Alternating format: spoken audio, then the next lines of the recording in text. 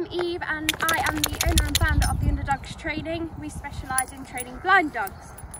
Now I get quite asked quite a lot, how can I still play fetch with my dog? And we get a lot of people recommending all these different kinds of balls.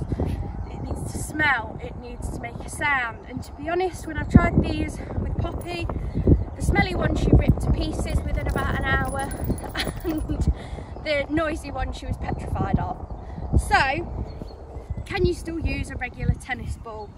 Get various different sizes of them. The answer is yes, you can. So I'm going to show you a couple of little ways in which we can still play fetch. Now Poppy loves fetch.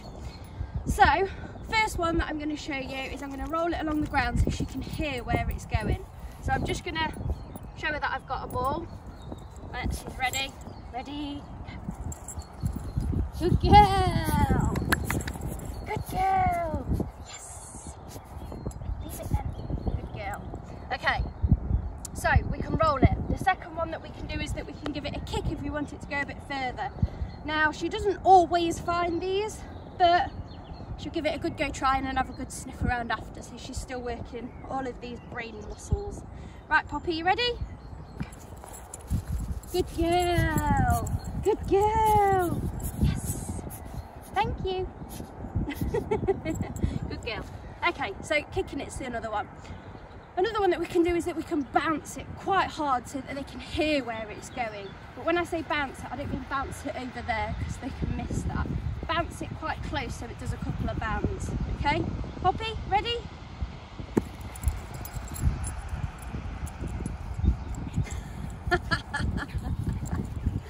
so, it doesn't always go perfectly. Because we've been doing the kick and the roll ones she's got used to running quite fast. So while she's a bit further away, I'm going to go again. Way! Good girl! Good girl! Thank you! Thank you!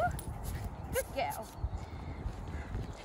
So, that's three different ways that you can use a tennis ball with a blind dog. Don't need to go and spend any extra money on any other balls and just enjoy it, have fun with your dog and help them to learn.